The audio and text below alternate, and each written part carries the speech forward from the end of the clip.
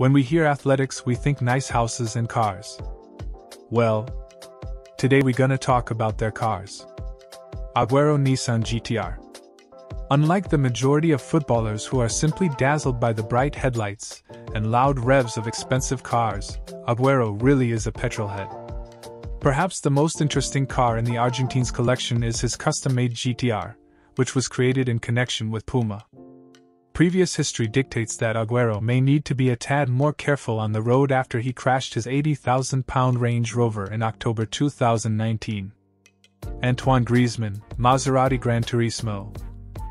Griezmann's choice of car appears to be the perfect blend of bling and sophistication. The Grand Tourer produced by Maserati has seemingly tickled the Frenchman's fancy, and if you catch a glance of one of these pulling up in Barcelona, then you may just want to stick around to see who gets out.